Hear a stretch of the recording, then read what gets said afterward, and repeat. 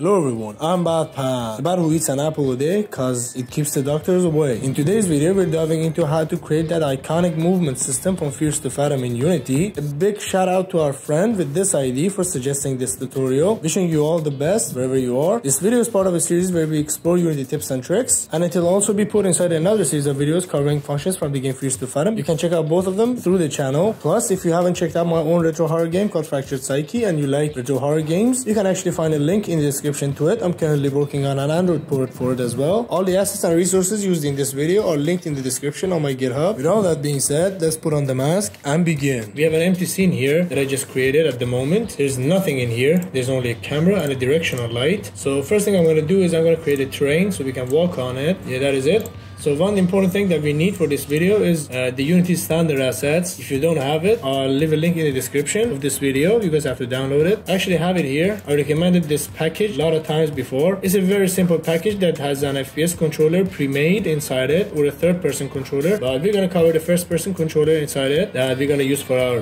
Fears to Fathom game. When you download it, you'll be left with something like this, a Unity package. Then you can double click to add it or you can just drag and drop it here to add it. Uh, since I already have this package, I don't don't want to add it again but you're gonna click on this all and add everything that is and you're just gonna click on this import. I have it so I'm just gonna cancel it. So what you're gonna do is you're gonna find that folder that you just created. As you see it is called standard assets. Double click to open it. Go inside characters first person character go to prefabs and just this is the FPS controller inside it. You're gonna go to your scene view and just gonna you know drag and drop this FPS controller inside your scene and just you know delete the camera there is. Right now we have the FPS controller selected.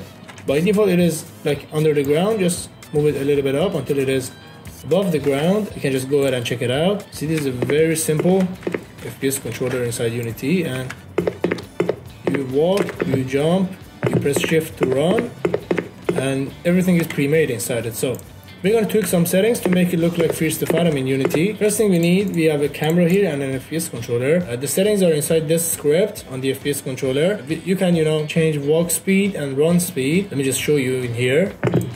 So this is it. Let me just make it smaller a little. And I make the walk speed like 10 and run speed 20, you see? Yeah, it is like very fast. Uh, first thing we're gonna disable is the jump speed because we cannot jump inside Fathom. So, so right now you press space and it's gonna jump. You're gonna, you know, make jump speed zero. So when you press space, it doesn't move. It does this that you can just, to fix this happening, you can just go inside the script and deactivate the pressing space to, you know, jump. You can go inside your FPS controller and go to this section that says, you know, if we are not jumping then jumping is like pressing space. You can just turn this off. Right now you press space and it's not gonna jump. Let's go ahead and check it out. As you see I press space and nothing happens. Because we just deactivated the jumping function inside it. And where this is is actually inside void update and it is under if you're not jumping and we, we press jump we just jump. We have this mouse look. You can just you know clamp it and make it smooth the camera look. You see as you see it looks you know it moves smoothly.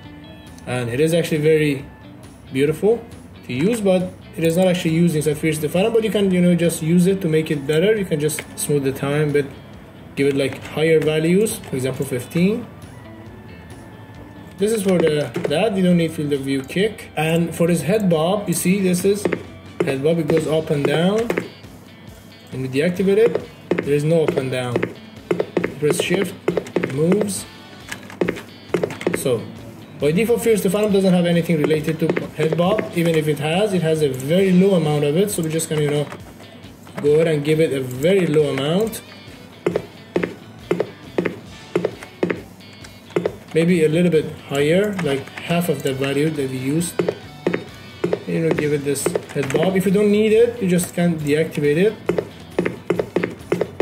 Gives it that Fears to Fathom look and yeah, that is it. So one more thing that we have jump bob. We don't have any we don't have jump in here so we're not going to use that. Then we have this footstep sound. It automatically has so you guys don't have to use this for this footstep sound I'll just add some more footsteps and show you how you know difference it makes to use different footsteps. I added seven sounds for different footsteps that you can use in your game. So I'm just gonna go to my FPS controller and I'm gonna make it zero. Since I wanna add all of them at once, I don't wanna give it one by one. So I just click my FPS controller down here. I just click on this lock icon. So when I press anywhere else, it's not gonna change.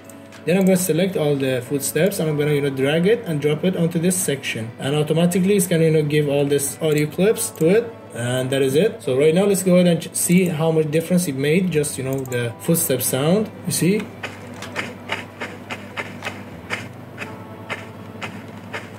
This is not a perfect footstep but if you have you know dirt on the ground and you know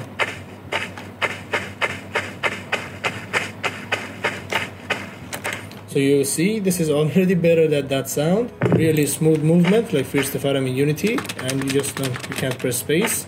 Just move, you press shift to, you know, run,